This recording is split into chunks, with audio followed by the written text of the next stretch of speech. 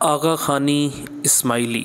یہ فرقہ بنیادی طور پر اہل تشیع کی ایک ذیلی شاخ ہے۔ اسماعیلی ایک باطنی فرقہ ہے۔ جو حیثیت اہل سنت والجماعت کے ہاں قادیانیوں کی ہے کہ وہ انہیں غیر مسلم قرار دیتے ہیں، ایسے ہی شیعہ کے ہاں اسماعیلیوں کو یہ حیثیت حاصل ہے۔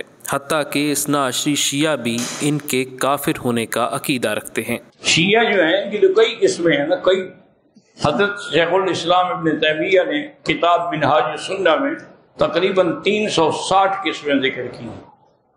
لیکن یہ آغا خانی جو ہے نا، یہ تو سب سے بدتر فرقہ ہے۔ شیعہ ہے لیکن بدتر کہ انہوں نے اللہ کے فرائض کا بھی انکار کر دیا اور یہ آغا خان کو نعوذ باللہ خدا کا درجہ دیتے ہیں۔ اسماعیلی فرقے کی ابتدا اس وقت ہوئی جب امام جعفر صادق رحمۃ اللہ علیہ فوت ہوئے۔ اور ان کی جانشینی کا مسئلہ درپیش ہوا۔ تو شیعہ دو گروہوں میں بٹ گئے۔ ان میں سے ایک گروہ نے کہا کہ امام جعفر صادق کے بعد ان کے بڑے بیٹے اسماعیل، جو اپنے والد کے انتقال سے چند سال قبل وفات پا چکے تھے، امام منصوص یا معمور من اللہ ہیں۔ اور دوسرے گروہ نے ان کے بجائے ان کے دوسرے بیٹے موسا کاظم کو امام تسلیم کر لیا۔ پہلا گروہ حضرت اسماعیل کے نام کی نسبت سے اسماعیلی کہلاتا ہے اور وہ دھڑا جس نے امام موسا کاظم کو امام تسلیم کر لیا، اسنا عشری کہلاتا ہے اور جمہور شیعہ کا تعلق اسی فرقے سے ہے۔ اسماعیلی تحریک اسلامی عقائد اور یونانی فلسفے کا امتزاج تھی۔ اس کا آغاز ایک واضح سیاسی مقاصد کی حامل تحریک کے طور پر ہوا تھا۔ اسماعیلی تحریک کے نزدیک اقتدار حاضر امام کا حق تھا۔ اس لیے اس تحریک کو اس انداز میں منظم کیا گیا تھا کہ جب بھی موقع ملے غاسپوں کو ایوان اقتدار سے باہر کر کے حاضر امام کو مسند اقتدار پر بٹھایا جائے۔ اسماعیلی عقائد کے مطابق امام زمانہ کو دین اور دنیاوی امور میں اختیار کلی حاصل ہے۔ اس لیے اس کی موجودگی میں کوئی دوسرا خلیفہ یا حاکم نہیں ہو سکتا۔ اور جو کوئی ایسا کرے گا، وہ غاصب ہوگا۔ عراق میں اس فرقے کی نشو و نما ہوئی، جس کے بعد یہ خراسان، ایران، ہندوستان اور ترکستان کی طرف پھیل گئے۔ ان کے عقائد میں مجوسی افکار کے علاوہ ہندو نظریات خصوصاً برہنموں کے اعتقاد بکثرت پائے جاتے ہیں۔ اسماعیلیوں کے عقائد پر یونانی، ایرانی، مجوسی اور نصرانی فلسفوں کا شدید غلبہ نظر آتا ہے۔ اس وقت شام، پاکستان، انڈیا، جنوب وسطی افریقہ، افریقی ممالک میں ان کی ایک قابل ذکر تعداد موجود ہے۔ اس وقت ان کا سب سے بڑا مرکز کینیڈا کے شہر ٹورانٹو میں قائم ہے، جہاں لائبریری، میوزیم، پارکنگ، جماعت خانے جیسی سہولیات موجود ہیں۔ واضح ہے کہ آغا خانی اپنی عبادت گاہ کو مسجد کے بجائے جماعت خانہ کہتے ہیں۔ پاکستان میں یہ فرقہ شمالی علاقہ جات میں بکثرت پایا جاتا ہے۔ جہاں یہ گروہ اپنے سماجی کاموں کے حوالے سے نہایت معروف ہے۔ سلام کے بجائے یہ ایک دوسرے کو یا علی مدد اور جواب میں مولا علی مدد کے الفاظ بولتے ہیں۔ اللہ تعالیٰ کے حکم کے برخلاف یہ وضو کے بجائے دل کی صفائی کے قائل ہیں۔ مزید یہ کہ اللہ تعالیٰ نے قرآن میں مسلمانوں کو نماز ادا کرتے وقت قبلہ رخ ہونے کا حکم دیا ہے، جبکہ آغا خانی نماز ادا کرتے وقت قبلہ رخ ہونے کے قائل نہیں۔ بحری اور بہائی گروہ کی طرح آغا خانی بھی اپنے تئیں امام کو اللہ تعالیٰ کے برابر مانتے ہیں۔ ان کا عقیدہ ہے کہ گناہوں کی معافی مانگنے کا طریقہ صرف اور صرف امام حاضر یعنی کریم آغا خان سے براہ راست گناہوں کی معافی مانگنا ہے۔ یہی ہمارے ہاں بھی ایک پوپ ہوتے ہیں۔ یہ جو ہمارے اسماعیلی ہیں ان کا جو امام حاضر ہے وہ معصوم ہے۔ اور وہ جس چیز کو چاہے حلال کر دے جس چیز کو چاہے حرام کر دے۔ انہوں نے بھی شریعت ثاقب کی ہوئی ہے۔ اسماعیلیوں پر شریعت نہیں ہے۔ یہ اسماعیلی اس وقت جو ان کے امام ہیں آغا خان تھے آغا خان کے پوتے اب ان کے امام ہیں۔ اب کریم آغا خان، یہ ان کے نزدیک امام معصوم ہیں۔ ان سے کسی خطا کا امکان ہی نہیں۔ سر سلطان محمد خان جو آغا خان تھے، ان کے تو یہ الفاظ بھی منقول ہوئے ہیں کہ جب میں شراب پیتا ہوں، تو شراب جب میرے ہوٹوں کو مس کرتی ہے تو پاک ہو جاتی ہے۔ یعنی یہ امام معصوم تو وہ شے ہے کہ جس سے کوئی ناپاک چیز چھوئے گی تو پاک ہو جائے گی۔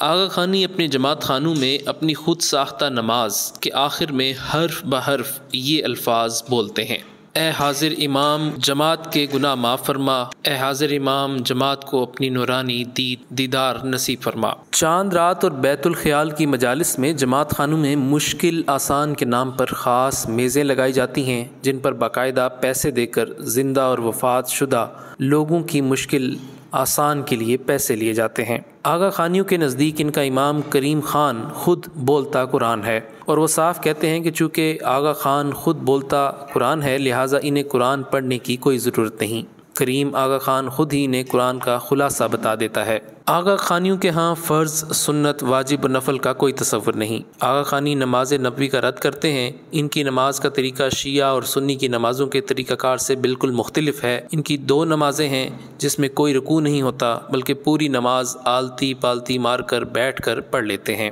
آغا خانیوں کی نمازوں کے اوقات کا سورج کے طلوع اور غروب سے نہیں، بلکہ پورے سال ایک ہی وقت میں نماز پڑھی جاتی ہے۔ امریکہ اور کینیڈا میں شام کی نمازیں ہفتہ اور اتوار کو شام سات بجے اور باقی دنوں میں شام ساڑھے سات بجے۔ حالانکہ یہاں کے علاقوں میں گرمیوں میں مغرب کے اوقات رات نو بجے تک ہو جاتے ہیں، مگر آغا خانیوں کو اس سے کوئی غرض نہیں کہ ان کی نمازیں اوقات طلوع اور غروب شم سے متوازی ہیں یا نہیں۔ ہاں البتہ اس بات کا ضرور خیال رکھتے ہیں کہ جماعت خانوں کے اوقات کا کاروباری اوقات سے تصادم نہ ہو۔ آغا خانیوں کی نماز کی رکعت چار، چھ ہے۔ آغا خانی اپنی خود ساختہ نماز میں اپنی مرضی کی قرآن صورت نہیں پڑھ سکتے، بلکہ مقرر کردہ صورتیں اور آیات کے ٹکڑے ہی پڑھتے ہیں۔ آغا خانی قبلہ روح ہو کر اپنی نماز نہیں پڑھتے، بلکہ کسی بھی سمت کی جانب پڑھ لیتے ہیں۔ ان کے نزدیک کعبۃ اللہ کی کوئی حیثیت نہیں۔ آغا خانیوں کے نزدیک حج کی تعویل کریم آغا خان کو دیکھنا ہے۔ نہ تو کریم آغا خان نے کبھی اصل اسلامی حج کیا اور نہ کوئی آغا خانی حج کو دینی فریضہ سمجھتا ہے۔ آغا خانی اسماعیلی زکوٰۃ ادا نہیں کرتے بلکہ زکوٰۃ کی جگہ دسون دیتے ہیں۔ جس طرح ان کی اسماعیلی سلاد رسول اللہ صلی اللہ علیہ وسلم کی بتائی ہوئی نماز سے بالکل مختلف ہے، اسی طرح ان کی دسون بھی اللہ اور اس کے رسول کی بتائی زکوٰۃ سے بالکل الگ ہے۔ آغا خانی اپنی ماہانہ آمدنی پر کم از کم دس فیصد دسوند آغا خان کو ادا کرتے ہیں۔ پچھلے زمانوں میں اسماعیلی ڈھائی فیصد کی مزید رقم اپنے پیر کو ادا کرتے تھے۔ آج کل چونکہ آغا خان نے پیر کا منصب منسوخ کر دیا ہے اور اپنے آپ کو پیر کا لقب دیا ہوا ہے، لہٰذا اسماعیلی یہ مزید ڈھائی فیصد بھی آغا خان کو ادا کرتے ہیں۔ یعنی ہر آغا خانی ہر مہینے کی آمدنی میں سے پورے ساڑھے بارہ فیصد آغا خان کو دیتا ہے۔ یہ سلسلہ یہاں تک ہی محدود نہیں، بلکہ یہ گروہ اسلام کے بنیادی پانچ ارکان کے بارے میں بھی طرح طرح کے عجیب و غریب خیالات کا حامل ہے۔ مسلمان رمضان کے مہینے میں صبح صادق سے لے کر اذان مغرب تک روزہ رکھتے ہیں، جبکہ یہ گروہ صرف ایک پہر کے روزوں کا قائل ہے۔ یہ اپنے امام کا چہرہ دیکھ لینے کو حج کے برابر ثواب سمجھتے ہیں۔ سود اور غیر مسلموں سے شادی کو جائز سمجھتے ہیں۔ بیان کردہ کفریہ قائد ہیں، جن کی بنا پر اکثر علماء ان کو دائر اسلام سے خارج قرار دیتے ہیں۔ آغا خان چہارم اسماعیلیوں کے انتیسویں امام ہیں اور آغا خان کریم الحسینی کے پیروکاروں کا عقیدہ ہے کہ امام آغا خان کو شریعت کی تعبیر و توضیع کے وہ تمام اختیارات حاصل ہیں جو ان کے پیشروں کو تھے۔ ان کی ہدایات حرف آخر سمجھی جاتی ہیں۔ اسماعیلی خواتین و حضرات بلا چوں چراں ان کی ہدایات پر عمل کرنے کے مکلف سمجھے جاتے ہیں۔ ان کے نزدیک امام متعدد ایسی صفات کا حامل ہوتا ہے جو مسلمانوں کے ہاں صرف اللہ تعالیٰ سے مخصوص ہیں۔ دوسرے جو ہے وہ آغا خانی ہیں۔ ان کی میں آپ کو جو بتا دوں، ایک سیکرٹ چیز، ان کا کوئی ریٹن لٹریچر نہیں ملے گا۔ کبھی بھی نہیں، یہ ڈائریکٹو آرڈرز لیتے ہیں۔ ایگزیکٹو آرڈرز لیتے ہیں۔ کس سے؟ وہ جو ہے بیٹھا آغا خان، جو ڈانس کرتا لڑکیوں کے ساتھ بیٹھتا ہے عورتوں کے ساتھ، جو ہے، جو میں کہنا نہیں چاہتا، سب کچھ کرتے ہیں۔ ان کی شادیاں دیکھا کریں، شادیوں میں ہندو رسم بھی ہوگی کرسچینٹی کی بھی رسم ہوگی۔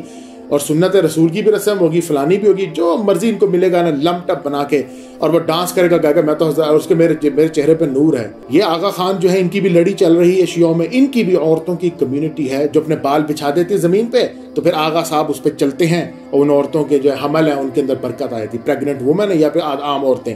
جی وہ، یہ ان کی کمیونٹی ہے۔